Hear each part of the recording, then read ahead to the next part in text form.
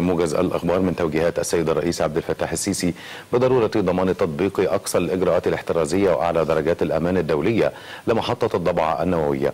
وخلال اجتماع لاستعراض نتائج اللجنة العليا لعوامل الأمان لمحطة الضبعة النووية وجه الرئيس بالتنسيق بين الجهات الرئيسية الضالعة في مشروع المحطة مع مراجعة الكثافة السكانية والتخطيط العمراني للأراضي حولها وفق المعايير الدولية.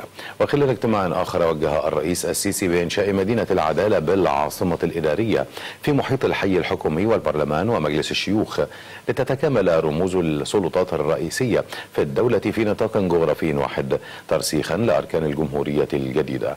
كما وجه الرئيس بتطوير منظومة التقاضي وميكنة خدمات وزارة العدل فضلا عن توسيع نطاق خدمات الشهر العقاري للتوثيق ومضاعفة أعداد سيارات التوثيق المتنقل في المحافظات.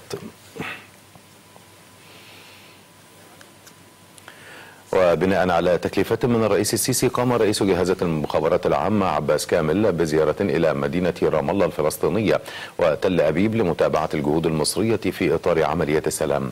وكان في استقباله بمدينة رام الله الرئيس الفلسطيني محمود عباس حيث نقل رئيس المخابرات رسالة من الرئيس السيسي تتضمن التأكيد على دعم مصر للقضية الفلسطينية والعمل على تحقيق الهدوء والاستقرار بكافة المناطق الفلسطينية. تأتي الزيارة في إطار دفع الجهود المصرية لعملية السلام والتي يرعاها السيد الرئيس.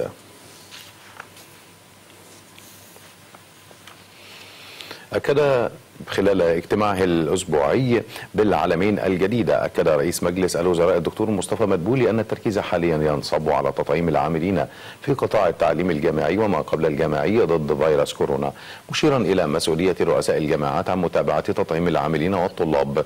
من جانبها أعلنت وزيرة الصحة إضافة عقار أكثر فعالية لعلاج مرضى فيروس كورونا يسهم في عدم تأخر حالة المصابين بنسبة 70% وبالتالي تقليل نسب الوفاة.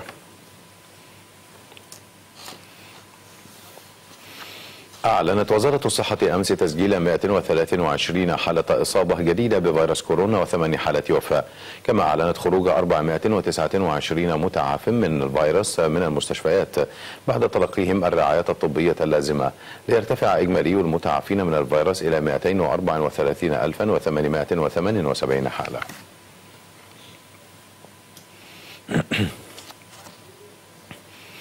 أعلن الرئيس الأمريكي جو بايدن أن قوات بلاده ستبقى في أفغانستان لحين إجلاء جميع الأمريكيين حتى لو تطلب ذلك البقاء بعد الحادي والثلاثين من أغسطس وهو الموعد النهائي المقرر لانسحابها. واعتبر بايدن أن حدوث فوضى في أفغانستان كان أمرا لا مفر منه بعد الانسحاب الأمريكي.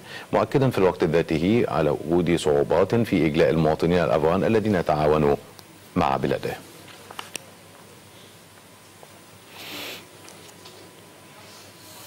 وكانت الإمارات العربية المتحدة قد استقبلت الرئيس الأفغاني أشرف غني وعائلته حيث غادر أفغانستان بعد سيطرة حركة طالبان عليها الأحد الماضي. وقالت الخارجية الإماراتية إن استقبال غني وأسرته جاء لاعتبارات إنسانية وعقب تركه أفغانستان. قال غني عبر فيسبوك إنه ترك بلاده ترك بلاده تجنبا لإراقة الدماء بعد أن احتكم طالبان إلى السيف والبنادق محملا إياها. مسؤولية الحفاظ على أفغانستان.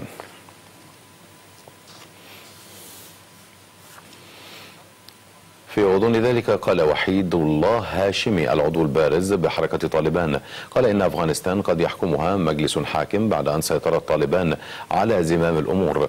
بينما من المرجح أن يظل الزعيم هيبة الله أخوان زادة زعيما أعلى للحركة.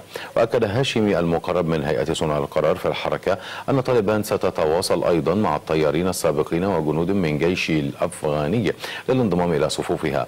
كانت طالبان قد قتلت الآلاف من الجنود الأفغان على مدى العشرين عاما الماضية واستهدفت في الآونة الأخيرة طيارين تلقوا تدريبهم على يد القوات الأمريكية. نهاية الموجز إلى اللقاء.